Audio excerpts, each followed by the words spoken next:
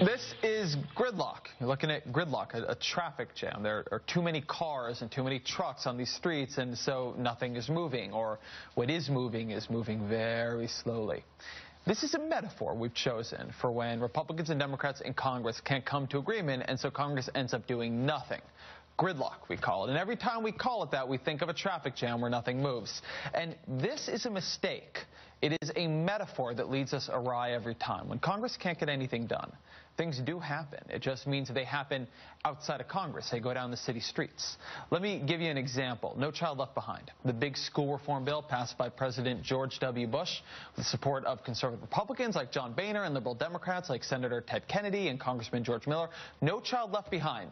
Uh, no Child Left Behind technically expired in 2007. It is a zombie bill. But no one really did anything about it. They didn't reauthorize it or overhaul. They just kept appropriating money. And so the outdated provisions of this out-of-touch bill are beginning to strangle the education system. It says that 100 percent 100% of school districts need to meet tough proficiency goals in reading and math in 2014 or they lose tons of money. And that goal will not be met. We've known that for years that these school districts will not hit those targets. And that means they're going to lose tons of money. Those kids will lose tons of money. And so we needed to do something. But, you know, Congress. So the Obama administration began giving out waivers, just direct waivers, telling almost 40 states that they're letting them out of No Child Left Behind as long as they agree to meet certain other kinds of quality targets. And today, they took another step. And after rejecting California's request for a waiver, they said yes to eight individual school districts in California Sacramento, Fresno, Long Beach, LA, Oakland, San Francisco, Sanger, and Santa Ana. That's the first time that's ever happened. With Congress doing nothing, this governing by waiver is becoming almost common. The Obama administration, uh, yeah, the Obama administration decided to just delay parts of Obamacare for a year because they didn't think they would work to implement this year. After the DREAM Act failed in Congress, the Obama administration decided to stop prosecuting undocumented immigrants who fit Dreamer characteristics. They basically just implemented the law by executive fiat. To Republicans in Congress, this is lawlessness. This is the executive branch stepping out of its bounds and around Congress. But to Democrats in Congress, Congress. It's the only way for the executive branch to govern amidst a Republican Party that refuses to work with this White House. But this is why congressional gridlock is not like traffic gridlock. Things move, laws get made.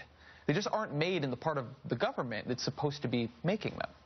Joining me now is Mattie Duppler, Director of Budget and Regulatory Policy for Americans for Tax Reform, and Norm Ornstein, resident scholar at the American Enterprise Institute and co-author of the book, The Broken Branch, How Congress is Failing America and How to Get It Back on Track. Thank you both for being here. Yeah, thank you. And, and Maddie, I, I, want to start with you. Mm -hmm. What do you think of, of, of these waivers? I, I, imagine you're not a huge fan of them.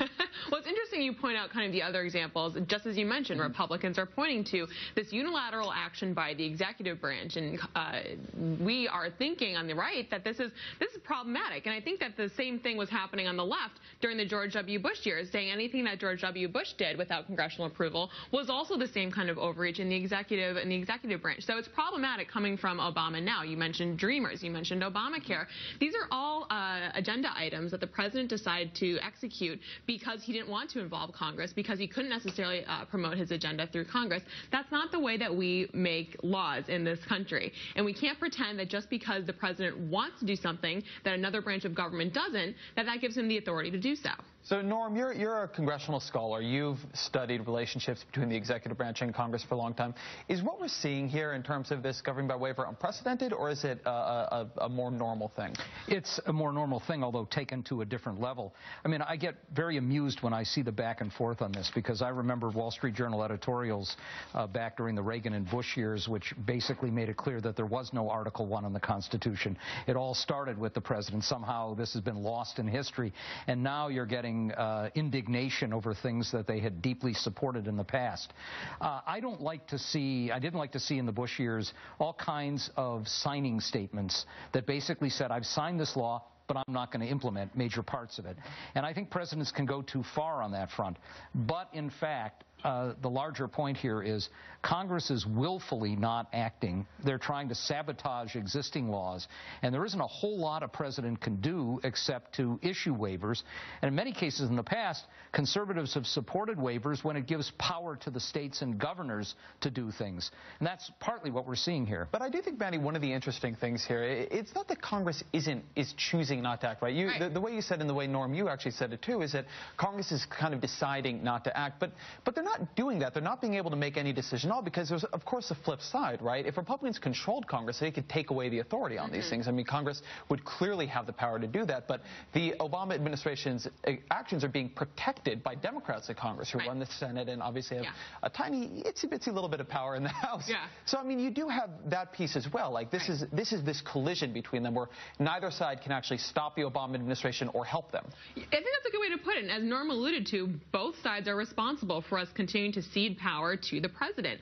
Uh, but I think Obamacare and No Child Left Behind are instructive in this instance. You know, No Child Left Behind, it's not just that Congress is unwilling to act. The House has passed a bill that would reform No Child Left Behind, a holistic package, excuse me, in July. The Senate hasn't acted on anything. They haven't even uh, marked up anything in committee. So that shows you what side is actually moving on things. But same thing with Obamacare. You know, the idea that we can have an employer mandate wave, but not the individual side of things seems ludicrous to those of us who think that, well, if the law is going to work, you should probably have the entire law go into effect rather than picking and choosing where you think it might be successful. But again, that motion hasn't been taken up by the Senate, uh, by the Democrat-controlled Senate, even though Republicans, uh, one of the last things they did when they were in town was pass a waiver for American families as well.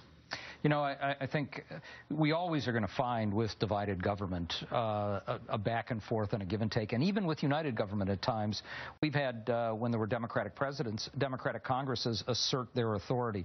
But usually, they work things out on most issues, and they find through give and take. This is different. Uh, this is different than what we've seen before.